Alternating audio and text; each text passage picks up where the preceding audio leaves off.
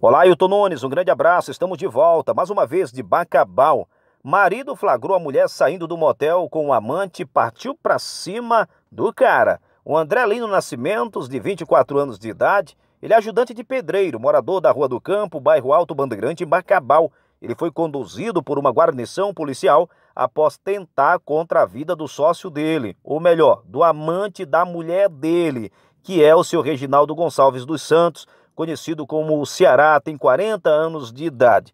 Segundo o Ceará, ele estava em um bar na companhia de uma mulher e que posteriormente os dois saíram para um motel quando foram abordados por André Lino, esposo da acompanhante dele.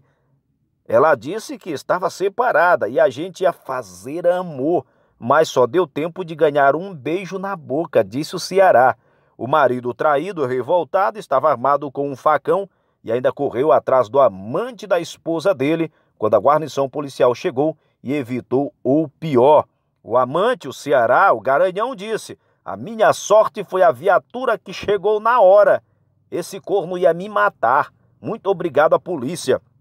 Na delegacia, o, ajudante de pedreiro traído disse a um repórter que convive maritalmente com a mulher há mais de dois anos e que para ela nunca faltou nada, nada, nada.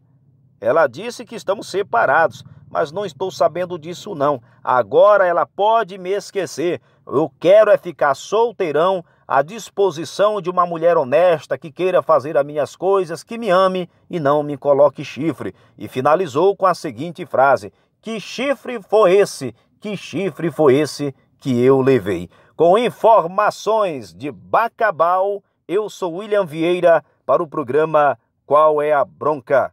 Que chifre foi esse, hein, Ceará?